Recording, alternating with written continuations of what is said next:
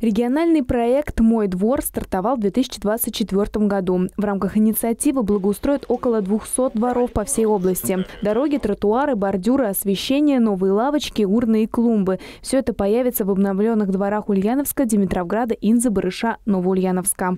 Я вот заметил, что в прошлом году, позапрошлом, очень много жалоб поступало именно от жильцов, что дороги ремонтируются, а внутри Э, внутри дворов асфальт весь разрушен. Да. Некуда машины ставить, ставят на газоны. Вот. Поэтому в этом году мы приняли решение, развернули новую программу, называется «Мой двор». И деньги из дорожного фонда э, направили, ну, часть денег, конкретно 500 миллионов рублей – Региональный проект станет помощником для госпрограммы формирования комфортной городской среды. 73 дворовых территорий в 2024 году получат новый современный вид благодаря нацпроекту. К ним относятся и дома номер 20 и 26 по улице Кольцевой. За несколько недель их привели в порядок, остались только небольшие доработки.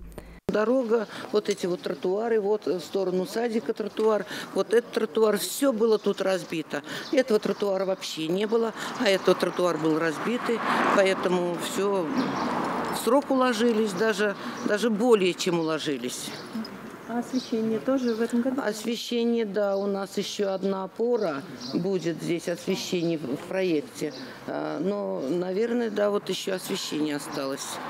Тандем регионального и федерального проекта ускорит благоустройство дворов в Ульяновской области. Также к министерствам и правительству активно подключаются жители домов. Программа поддержки местных инициатив помогает в благоустройстве детских площадок, модернизации освещения, дорог и окружающей среды.